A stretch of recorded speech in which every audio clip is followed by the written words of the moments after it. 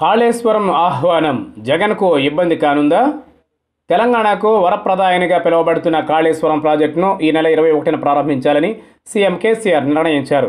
గోదావరి నదిపై నిర్మించిన ఈ ప్రాజెక్టు ద్వారా అత్యధిక ఆయకట్టును స్థిరీకరించాలనేది కేసీఆర్ లక్ష్యం.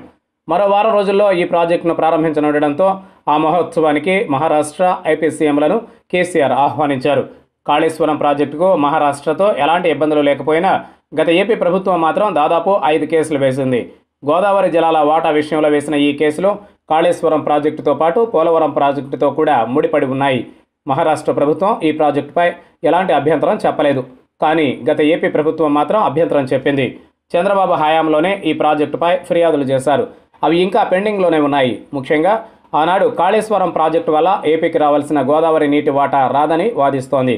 దీనికి ప్రతిగా తెలంగాణ ప్రభుత్వం కూడా అప్పటి నిజామాబాద్ ఎంపీ కవిత ద్వారా పోలవరం ప్రాజెక్టుపై కేసులు వేయించింది. కేసీఆర్ చంద్రబాబు మధ్య వైరాన్ని పక్కన పెడితే ఆనాడు కాళేశ్వరం పోలవరం ప్రాజెక్టులపైన వేసిన కేసులు ఇంకా కోర్టుల్లోనే ఉన్నాయి. ఇక ఇప్పుడు సదరు ప్రాజెక్టు ప్రారంభోత్సవానికి వైఎస్ జగన్ వెళితే ఏమవుతుంది అని పలువురు విశ్లేషిస్తున్నారు. ఏపీ ప్రభుత్వం కాళేశ్వరం మీద ఇప్పటికే అభ్యంతరం చెప్పిన నేపథ్యంలో ఆ ప్రాజెక్టు ప్రారంభోత్సవానికి ఏపీ సీఎం జగన్ వెళితే అది ప్రజలపై వ్యతిరేక ప్రభావం చూపే అవకాశం ఉంటుందా?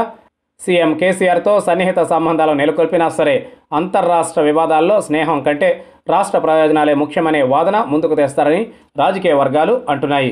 ఇప్పటి వరకు సాహసోపేత నిర్ణయాలు తీసుకున్న జగన్ ఈ విషయంలో మాత్రం చాలా జాగ్రత్తగా వ్యవహరించాల్సిన అవసరం ఉందని భావిస్తున్నారు. జగన్ వెళ్ళకపోతే స్నేహధర్మం మరిచినట్లుగా ఒక వర్గం ప్రచారం చేసే అవకాశం ఉంది. అదే సమయంలో జగన్ కాళేశ్వరం ప్రాజెక్టు ప్రారంభోత్సవానికి వెళితే ప్రతిపక్ష టీడీపీ అతనిపై ఆరోపణలు చేసే అవకాశం కూడా ఇచ్చినట్లవుతుంది. మరి ఇలాంటి స్థితిలో సీఎం జగన్ ఎలాంటి నిర్ణయం తీసుకుంటారో వేచి చూడాల్సిందే.